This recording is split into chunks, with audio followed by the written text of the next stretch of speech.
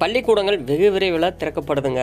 அதற்கான அறிவிப்பை தான் இப்போ வெளியிட்டு இருக்காரு பள்ளி கல்வித்துறை அமைச்சர் அன்பில் மகேஷ் பொய்யாமொழி. அது என்னென்னு நம்ம இப்போ பார்க்கலாம். அதுக்கு முன்னாடி யாது முறை யாவரும் கீழே யூடியூப் சேனலுக்கு நீங்கள் புதுசாக இருந்தீங்கன்னா மறக்காமல் சப்ஸ்கிரைப் பண்ணிட்டு கீழே இருக்க பெல் ஐக்கானை கிளிக் பண்ணுங்கள் அப்போ தான் நாம் போடக்கூடிய ஒவ்வொரு வீடியோ தொகுப்பையும் நீங்கள் தொடர்ந்து பார்க்க முடியும்.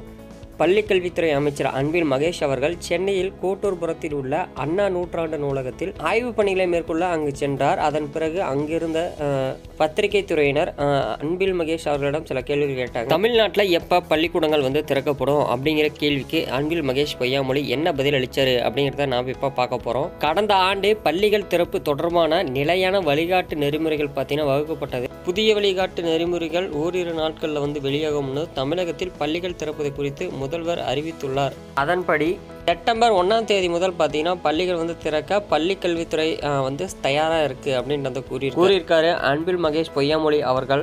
பதினோரு மாநிலங்களில் பார்த்தீங்கன்னா பல்வேறு கட்டங்களாக பள்ளிகள் திறக்கும் நடவடிக்கைகள் பார்த்தீங்கன்னா அந்தந்த மாநிலங்கள் நடவடிக்கைகள் வந்து எடுத்துள்ளது. அதே போலவே தமிழகத்திலையும் பார்த்தீங்கன்னா பள்ளிகளை திறக்க அனைத்து ஏற்பாடுகளும் தயார் நிலையில் உள்ளதும் முதல்வர் வந்து சொல்லியிருக்காரு. அது மட்டும் இல்லாமல் முதல்வர் அறிவித்தபடி ஐம்பது சதவீத மாணவர்களை கொண்டு சுழற்சி முறையில் வகுப்புகள் நடத்தப்படும். நாற்பது மாணவர்கள் மட்டுமே இருந்தால் ஒரு நாளைக்கு இருபது மாணவர்கள் வரவழைக்கப்படும் என்று வகுப்பு நடத்தப்படும் என்றும் வந்து கூறியிருக்காங்க.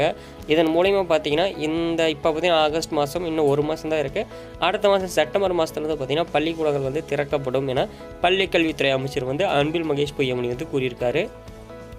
இந்த வீடியோ தொகுப்பின் மூலிமா எப்போ பள்ளிக்கூடம் திறக்கப்படும் அப்படின்ட்டு நீங்கள் தெரிஞ்சிருப்பீங்கன்னு நாங்கள் வந்து நம்புகிறோம் மறக்காம யாது முறை யாவரும் கீழே யூடியூப் சேனலை சப்ஸ்கிரைப் பண்ணிட்டு கீழே இருக்க பெல்லைக்கான கிளிக் பண்ணுங்கள் அப்போ தான் நாம போடக்கூடிய ஒவ்வொரு வீடியோ தொகுப்பையும் நீங்கள் தொடர்ந்து பார்க்க முடியும். ஓகே பாய்ங்க மீண்டும் நாம் அடுத்த வீடியோ தொகுப்பில் டுவெல்த்து பாடத்தை நம்ம பார்க்கலாம்.